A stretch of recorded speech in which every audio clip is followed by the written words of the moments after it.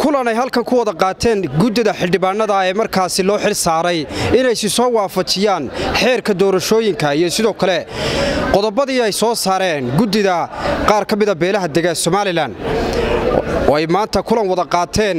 Qaar ka mid ah ururada siyaasadda ayaa markuu kulankaasi uu soo dhammaaday. Waxaa warbaahintu ay su'aala weyddiisay guddoomiyaha urur siyaasadeedka horseed. Cabdilaahi darawal waxaana uu sheegay in mowqifkoodii hore ku aadanaa inay halkii ay ka taagan yihiin diidmada.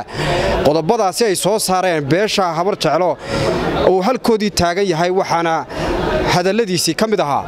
Wax isbeddel lama jire hawshayadu annagu waxaannu taagannahay mowqifkayga hore in sharciyadda la raaco.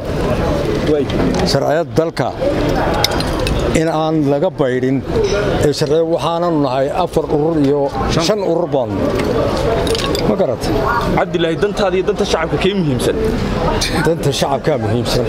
Anigu waxaan aaminsanaybaa danta shacabku inay ku jirto. Haddii dhibaato kalayna haysato inaynu dastuurkii baabiinno inay ka xun tahay cumar cali ducale cumar shabaash telefishinka bulsho hargeysa. Maasha allah soo dhowaada la jaanqaad shirkadda telesom.